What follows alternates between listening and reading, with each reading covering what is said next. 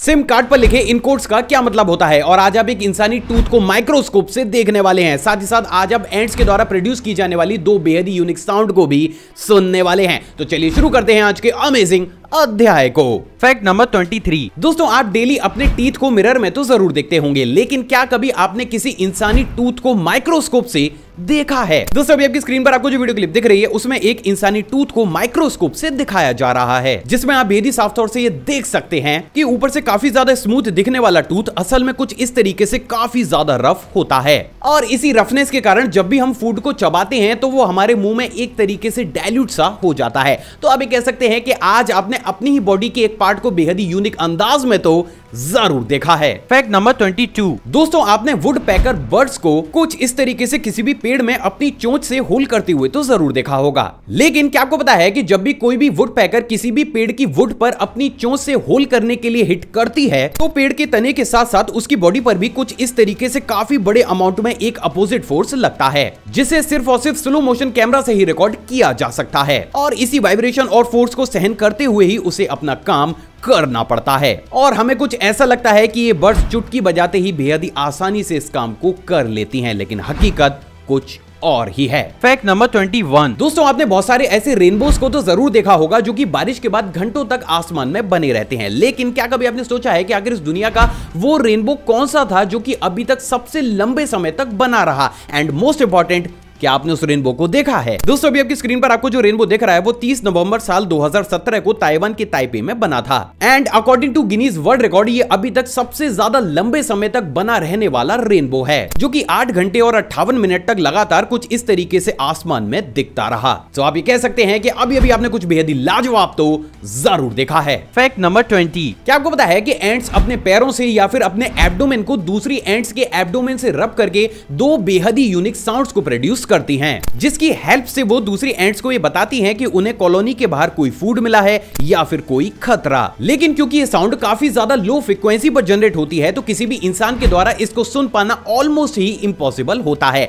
अब यहाँ पर मैंने ऑलमोस्ट शब्द का इस्तेमाल क्यों किया है, ये आप बखूबी जानते हैं। तो चलिए पहले उस आवाज़ को सुनते हैं, जिसमें एक एंट दूसरी एंट को ये बताती है कि उसे कॉलोनी के बाहर फ़ूड मिला है।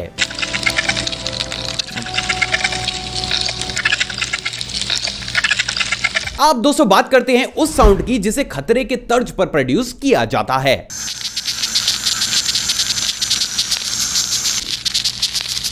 तो आप ये कह सकते हैं कि अभी अभी आपने कुछ बेहद ही रेयर तो ज़रूर सुना है। फैक्ट नंबर 19 दोस्तों आपने आईफिल टावर के बारे में बहुत सारे फैक्ट्स तो ज़रूर सुने होंगे लेकिन क्या आपको पता है कि जो आईफिल टावर है ये सिंगल नहीं बल्कि शादीशुदा है। चकरा गए ना, लेकिन ये सच है। असल में दोस्तों, बहुत ही कम लोगों को ये मालूम होगा, लेकिन एक अमेरिकन कॉम्पिटेटिव आर्चर एरिका एया के द्वारा साल 2007 की कमिटमेंट सेरेमनी के दौरान आईफिल टावर से शादी की गई थी। और इसी के बाद से ही इनका अब पूरा नाम एरिका एया आईफिल है। मतलब सही ही है इंडिया में लोगों को अच्छी वाइफ नहीं मिल रही और फ्रांस में टावर्स तक की शादी हो रही है। फैक्ट नंबर 18 क्या आपको पता है कि जापान में हर साल अक्टूबर के महीने में पेंटू नाम के फेस्टिवल को भी सेलिब्रेट किया जाता है, जिसमें वहाँ के लोग कुछ इस तरीके से अजीब से अटायर में तैयार होकर खुद को गंदे गटर में डुबाकर सड़कों पर घूमते हैं। साथ ही साथ वो अपने सामने पड़ने वाले छोटे बच्चों और लोगों पर भी कुछ इस तरीके से उस गटर की कीचड़ को भी लगाते हैं। असल में दोस्तों लोगों का कुछ ऐसा मानना है कि ऐसा करने से वो इविल स्पिरिट को अपने एरिया से डराकर भगाने के साथ साथ दूसरे लोगों के लिए भी गुड लक को लेकर आएँगे, और यही वो कारण है जिसके चलते हुए इस फेस्टिवल को दुनिया के सबसे ज़्यादा अजीबोगरीब फेस्टिवल्स में से भी एक फेस्टिवल माना जाता है। है। अब आप मुझे कमेंट करके ज़रूर बताइएगा कि अगर आपके मुँह पर कुछ इस तरीके से कोई गंदगी लगाए तो आप उसका क्या हाल करेंगे? फैक्ट नंबर 17 दोस्तों इस सीरीज़ में मैंने आपको बहुत से ऐसे एनिमल्स दिखाए हैं जो कि मेटिंग से पहले बेहद ही अजीब सी साउंड्स को प्रोड्यूस करते हैं। लेकिन बात अगर जिराफ की की जाए तो यहाँ तो वो अपनी गर्दनों के पैंचे ही लड़ाते हैं। नहीं समझे तो चलिए समझाता हूँ। दोस्तों, अभी आपकी स्क्रीन पर आपको जो वीडियो क्लिप दिख रही है, उसमें दो मेल जिराफ के द्वारा मैटिंग के लिए फाइट करता हुआ दिखाया जा रहा है, जिसमें आप बेहद ही साफ़ तौर से ये देख सकते हैं कि कैसे जिराफ इस कंडीशन में एक दूसरे के नेक पर हिट करके एक दूसरे को हराने की कोशिश करते हैं। तो अभी कह सकते हैं कि आज आपने पतंगों के अलावा जिराफ की गर्दनों के पैचों को भी लड़ता हुआ तो ज़रूर देखा है। फैक्ट नंबर 16 क्या आपको पता है कि यूएसए और ऑस्ट्रेलिया में वीआईपी पेशेंट्स को एक सिटी से दूसरी सिटी जल्दी भेजने के लिए कुछ इस तरीके की रेल एंबुलेंस का इस्तेमाल किया जाता है। एंड ऑनेस्टली इसे देखने के बाद बहुत से लोग बोलेंगे कि वास्तव में ये कंट्रीज़ तो फ्यूचर में जी रहे हैं। लेकिन क्या आपको पता है कि ये टेक्नोलॉजी भी फ्यूचर की नहीं बल्कि साल 1961 की है। असल में दोस्तों, साल 1961 में ब्रिटेन में कुछ इस तरीके के रेल व्हीकल्स को बनाकर तैयार किया गया था, जिनके थ्रू वीआईपी लोगों और पेशेंट्स को ट्रैफ़िक से बचाकर जल्दी से जल्दी एक जगह से दूसरी जगह कुछ इस तरीके से बैठाकर ले जाया जाता था। लेकिन क्योंकि इससे रेलवे को काफ़ी ज़्यादा परेशानी हो रही थी तो आगे चलकर इस पूरे कॉन्सेप्ट को ठंडे बस्ते में डाल दिया गया। लेकिन प्रेजेंट डेट में बहुत सी कंट्रीज़ आज भी वीआईपी पेशेंट्स के लिए दोबारा से इन तरीके के व्हीकल्स का इस्तेमाल कर रही हैं। फैक्ट नंबर 15 दोस्तों आपने कभी ना कभी कुछ इस तरीके से माचिस की तीली को तो ज़रूर जलाया होगा लेकिन क्या आपने इस पूरे ही प्रोसेस को बेहद ही यूनिक और डिटेल्ड वे में देखा है। दोस्तों, अभी आपकी स्क्रीन पर आपको जो वीडियो क्लिप दिख रही है, उसमें एक मैच को जलाकर बेहद ही डिटेल्ड वे में जूम करके रिकॉर्ड किया गया है, जिसमें आप बेहद ही साफ़ तौर से ये देख सकते हैं कि कैसे जब हम एक माचिस की तीली को जलाते हैं तो उसके ऊपर लगा मटेरियल धीरे धीरे जलकर खत्म होता है। And I am damn sure हमें से बहुत ही कम लोगों ने इतने डिटेल्ड वे में इस सिंपल से प्रोसेस को कभी देखा होगा। सच में रेयर फैक्ट नंबर 14 क्या आपको पता है कि जो फायर फाइटर्स होते हैं वो आग बुझाने वाले पानी को और ज़्यादा गीला यानी कि वेट बनाते हैं। आई नो सुनने में काफ़ी ज़्यादा अजीब सा लग रहा है तो चलिए इसको सिंपल बना देते हैं। असल में दोस्तों ऑलमोस्ट सभी फायर फाइटर्स आग बुझाने वाले पानी में सरफेस एक्टिव एजेंट्स को डालकर उसके सरफेस टेंशन को कम करते हैं। जिसकी वजह से जब उस पानी को किसी भी ऑब्जेक्ट के ऊपर थ्रो किया जाता है तो वो नॉर्मल वाटर की तुलना में बहुत बड़े स्केल पर फैलता है। साथ ही साथ वो ऑब्जेक्ट भी इस वाटर को नॉर्मल वाटर की तुलना में काफ़ी बड़े स्केल पर एब्जॉर्ब करता है। और यही वो कारण है जिसके चलते हुए फायर फाइटर्स के द्वारा इस्तेमाल किए जाने वाला पानी किसी भी आग को नॉर्मल पानी की तुलना में काफ़ी जल्दी बुझा देता है। और हम लोगों को ये सीक्रेट पता ही नहीं होता। अमेजिंग फैक्ट नंबर 13 क्या आपको पता है कि साल 1920 के आसपास यूएसए के कैलिफ़ोर्निया में एलिगेटर फॉर्म नाम के भी एक जू को खोला गया था जिसमें बहुत से एलिगेटर्स को कुछ इस तरीके से छोटे बच्चों और लोगों के साथ खेलने खाने और उनको अपने ऊपर बैठाकर राइड कराने की ट्रेनिंग को दिया जाता था जिसके चलते हुए साल 1920 के आसपास ये जू एक काफ़ी बड़ा पिकनिक स्पॉट भी बन गया था। लेकिन क्योंकि आइडिया काफ़ी ज़्यादा खतरनाक था साथ ही साथ एलिगेटर्स भी काफ़ी ज़्यादा गुस्से में आ जाया करते थे तो आगे चलकर लोगों की सेफ्टी को ध्यान में रखते हुए इस जू को पूरे ही तरीके से बंद कर दिया गया। और ये चीज़ अपने आप में काफ़ी ज़्यादा अजीब थी, जहाँ पर इतिहास में लोग एलिगेटर्स के साथ ऐसा खेला करते थे कि मानो वो एलिगेटर नहीं, बल्कि उनका कोई पेट डॉग हो। फैक्ट नंबर 12 क्या आपको पता है कि जब कोई भी सांप काफ़ी ज़्यादा गर्म जगह पर होता है तो उसके ब्रेन में कभी कभी ऐसी रिएक्शंस होने लगती हैं जिसकी वजह से उसे फेक भूख लगने लगती है। मतलब उसके शरीर को खाने की ज़रूरत नहीं होती है लेकिन उसका ब्रेन उसे फोर्स करता है ज़बरदस्ती कुछ भी खाने के लिए। और उस कंडीशन में जब वो अपनी टेल को देखता है तो उसका छोटा ब्रेन ये डिसाइड नहीं कर पाता है कि ये पार्ट उसी की ही बॉडी का है या फिर किसी दूसरे एनिमल का। और उस कंडीशन में वो स्नेक कुछ इस तरीके से अपनी ही बॉडी को बहुत बड़े अमाउंट में सॉलो करके खत्म कर देता है। और वास्तव में ये अजीब है। फैक्ट नंबर 11 जैसे कि हम सभी जानते हैं कि साल 1973 में मोबाइल फ़ोन का इन्वेंशन किया गया था। लेकिन क्या आपको पता है कि साल 1946 में भी इस दुनिया में मोबाइल फ़ोन मौजूद थे। असल में दोस्तों बहुत ही कम लोगों को ये मालूम होगा, लेकिन साल 1946 में सबसे पहली बार ब्रिटेन में मोबाइल फ़ोन के कुछ इस तरीके के प्रोटोटाइप को बनाकर तैयार किया गया था, जिसको कि मैनुअली एडजस्ट करके पास के रेडियो स्टेशन से कनेक्ट करना पड़ता था। लेकिन क्योंकि ये टेक्नोलॉजी रेडियो सिग्नल्स पर काम करती थी तो इसकी रेंज काफ़ी ज़्यादा कम थी और यही वो कारण था, जिसके चलते हुए मोबाइल फ़ोन के इस प्रोटोटाइप को आगे चलकर एडोप्ट नहीं किया गया। सो फॉर श्योर आज आपने आपके ही मोबाइल फ़ोन की एक बेहद ही अमेजिंग हिस्ट्री को तो ज़रूर जाना है। फैक्ट नंबर 10 जैसे कि हम सभी जानते हैं कि जब भी हम किसी भी स्पीकर के थ्रू किसी भी सॉन्ग को सुनते हैं तो उन स्पीकर से साउंड की अलग अलग फ्रिक्वेंसीज निकलती हैं। लेकिन क्या आपको पता है कि ये फ्रिक्वेंसी एक स्ट्रेट लाइन में नहीं, बल्कि बीट के अनुसार अलग अलग पैटर्न्स में निकलती हैं। अब इस चीज़ को अच्छे तरीके से समझने के लिए आप इस वीडियो क्लिप को देखिए, जिसमें एक सिंपल साउंड प्रोड्यूसिंग डिवाइस के ऊपर सॉल्ट को डालकर उस डिवाइस से अलग अलग फ्रिक्वेंसीज की साउंड को प्रोड्यूस किया जाता है। और यही साउंड वेव्स अपने पैटर्न के अनुसार सॉल्ट को भी कुछ इस तरीके से अलग अलग पैटर्न में कन्वर्ट कर देती हैं। और यही चीज़ कहीं ना कहीं हमें यह दिखाती है कि किस तरीके से अलग अलग फ्रीक्वेंसीज की साउंड वेव्स अलग अलग पैटर्न में किसी भी डिवाइस से रिलीज़ होती हैं। Strange but true fact number 9 क्या आपको पता है कि 16 मार्च 1999 को एंडीज माउंटेन रेंज से रिसर्चर्स को अभी तक इस पूरी दुनिया की तीन सबसे ज़्यादा नेचुरली प्रिजर्व्ड ममीज मिली थी। दोस्तों, अभी आपकी स्क्रीन पर आपको जो मम्मी दिख रही है, वो उन्हीं तीन मम्मीज में से एक मम्मी है। और आप ये जानकर हैरान हो जाएँगे कि इस मम्मी की सिर्फ़ स्किन ही नहीं, बल्कि इंटरनल ऑर्गन के साथ साथ कुछ परसेंटेज में आज भी इनके अंदर ब्लड प्रिजर्व है। असल में दोस्तों, ऐसा सिर्फ़ इसलिए संभव हुआ क्योंकि इन तीनों ही लोगों ने अपने देहांत से पहले काफ़ी ज़्यादा रिच प्रोटीन वाले फ़ूड को कंज्यूम किया था। साथ ही साथ इनकी बॉडी में डिहाइड्रेशन भी इनकी मृत्यु के बाद हुआ, जिसके चलते हुए 500 साल बीत जाने के बाद भी इनकी बॉडी बाहर और अंदर से बिल्कुल ऐसी है कि मानो ये अभी भी एक जीवित इंसान ही हो। Strange but true fact number eight किसी भी हेल्दी इंसान के द्वारा सीढ़ी चढ़ना एक सिंपल सा टास्क है, लेकिन किसी दूसरे इंसान को अपने ऊपर बैठाकर चढ़ाना थोड़ा सा मुश्किल। और ये मुश्किल तब और ज़्यादा बढ़ जाती है जब दूसरा इंसान उल्टा आपके सर पर लटक कर बैलेंस कर रहा हो।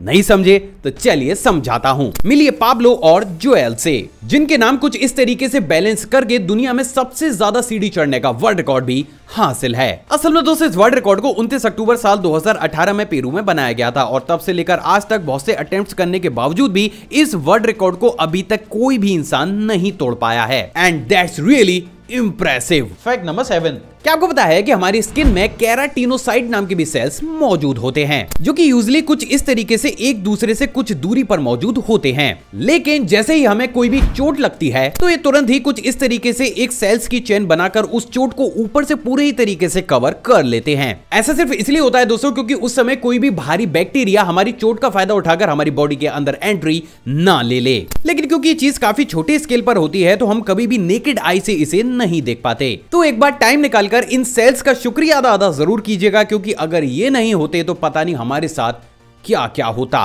फैक्ट नंबर सिक्स क्या आपको पता है कि जो रेड्स होते हैं, वो बेहद ही कम सिचुएशन में एक जगह शांति से बैठते हैं, वरना या तो वो इधर उधर मूव कर रहे होते हैं, या फिर वो कुछ ना कुछ खा रहे होते हैं। असल में दोस्तों, ऐसा होता है, उनके ब्रेन में मौजूद सेल्स के फास्ट मूवमेंट की वजह से, जिसकी वजह से उनका ब्रेन कभी भी उनको एक जगह पर शांत बैठने ही नहीं देता। तो ये तो बात हो गई इनके ब्रेन की। अब मैं आपसे जानना चाहता हूँ कि क्या कभी आपने किसी भी रेड के ब्रेन के सेल्स की स्पीड को अपनी आँखों से देखा है? दोस्तों, अभी आपकी स्क्रीन पर आपको जो वीडियो क्लिप दिख रही है, उसे स्टैनफोर्ड यूनिवर्सिटी में रिकॉर्ड किया गया है, जिसमें आप यदि साफ़ तौर से देख सकते हैं कि कैसे एक रेड के ब्रेन के अंदर उसके सेल्स कितनी फास्ट स्पीड के साथ मूव करते हैं। तो आप ये कह सकते हैं कि अभी अभी आपने कुछ बेहद ही रेयर तो ज़रूर देखा है। फैक्ट नंबर फाइव क्या आपको पता है कि जिस स्पोर्ट को प्रेजेंट डेट में हम और आप बैडमिंटन के नाम से जानते हैं उसे इंडिया में पहले बैडमिंटन नहीं बल्कि पूना के नाम से जाना जाता था। ऐसा सिर्फ़ इसलिए था दोस्तों क्योंकि एंशियंट इंडिया में बैडमिंटन सबसे बड़े स्केल पर सिर्फ़ पुणे सिटी में ही फ़ेमस हुआ था। और यही वो कारण था जिसके चलते हुए जब साल 1867 में पुणे सिटी में ही सबसे पहली बार इस गेम के लिए रूल्स को ब्रिटिशर्स के द्वारा लिखा भी गया था। And that's really strange fact number four दोस्तों आपने बहुत से लोगों को प्लेन को हाईजैक करते हुए तो ज़रूर देखा होगा। लेकिन क्या एक मासूम सी बिल्ली भी प्लेन को हाईजेक कर सकती है?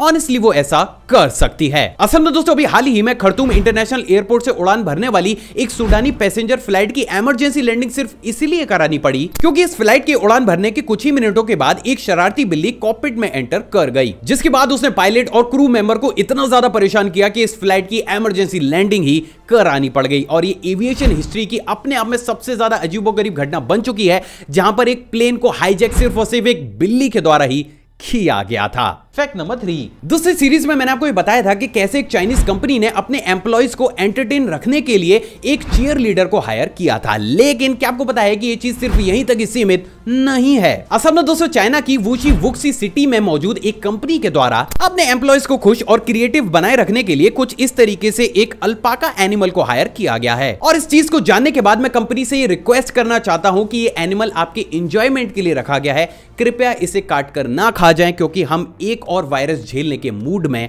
बिल्कुल भी नहीं है। सूचना जनहित में जारी। फैक्ट नंबर टू दोस्तों ये वाला फैक्ट करंट अफेयर की टच पर है। क्या आपको बताया कि अभी हाल ही में 12 साल की जीआरआई जो कि ऑक्टिज्म स्पेक्ट्रम डिसऑर्डर जैसी गंभीर बीमारी से ग्रसित है उन्होंने 36 किलोमीटर की दूरी महज 8 घंटे और 40 मिनट में तैर कर तय करके अपने नाम एक नया वर्ल्ड रिकॉर्ड हासिल कर लिया है। सच में गर्व होता है इस नन्ही सी परी पर। Fact number one sim card पर लिखे इन कोड्स का क्या मतलब होता है? असल में दोस्तों, आपने भी इस चीज़ को नोटिस तो ज़रूर किया होगा कि आप चाहे किसी भी ऑपरेटर की सिम का इस्तेमाल करते हो, उस सिम के ऊपर कुछ इस तरीके के कोड्स लिखे होते हैं। लेकिन क्या कभी आपने सोचा है कि आखिर सिम के ऊपर ये कोड करते क्या हैं? असल में दोस्तों, इस कोड को इंटीग्रेटेड सर्किट कार्ड आईडी के नाम से जाना जाता है। और इन कोड्स की मदद से किसी भी सिम को देखकर बेहद ही आसानी से पता लगाया जा सकता है कि ये सिम किस इंडस्ट्री से, किस कंट्री से और कंट्री में किस लोकेशन से बिलोंग करता है। For an example telecom industry का कोड 89 होता है। अब क्योंकि सभी सिम इसी इंडस्ट्री से बिलोंग करती हैं तो सभी सिम के शुरुआती दो डिजिट 89 होते हैं। इसके बाद के दो डिजिट कंट्री के कोड को रिप्रेजेंट करते हैं। जैसे कि अगर सिम इंडिया का है तो इस पर 91 लिखा होगा। यूएसए का है तो इस पर 01 लिखा होगा और जर्मनी का है तो 49 ठीक इसी प्रकार आगे के दो डिजिट इशुअर आइडेंटिफिकेशन नंबर को रिप्रेजेंट करते हैं। इसके बाद के सभी डिजिट लास्ट एक डिजिट को छोड़कर आपकी सिम के आइडेंटिफिकेशन नंबर होते हैं, जिसकी वजह से आपके अकाउंट आपकी सिम की लोकेशन और सिम को कंट्री के किस स्टेट में उतारा गया था के बारे में जानकारी मिलती है। एंड लास्ट डिजिट को कहा जाता है चेक सम यानी कि अगर आपकी सिम का कोई भी डिजिट गलती से मिट गया हो तो इस चेकसम को देखकर लन एल्गोरिथम लगाकर उस डिजिट को रिकवर किया जा सकता है। सो so फाइनली अब आप ये जानते हैं कि सिम के पीछे ये कोड्स क्यों लिखे होते हैं। आई होप दोस्तों आज की वीडियो आपको नॉलेजेबल लगी होगी। अगर आपको वीडियो पसंद है तो इस वीडियो को लाइक शेयर और कमेंट ज़रूर कीजिएगा। आप चाहें तो मुझे इंस्टाग्राम पर भी फॉलो कर सकते हैं। वहाँ भी मैं शॉर्ट शॉर्ट फैक्स और बैक को टाइम टू शेयर करता रहता हूँ, जिसका लिंक आपको स्क्रीन पर या फिर डिस्क्रिप्शन बॉक्स में मिल जाएगा। एक और फ्रेश कमाल वीडियो में आप सभी से दोबारा मुलाकात होगी दोस्तों। जय हिंद।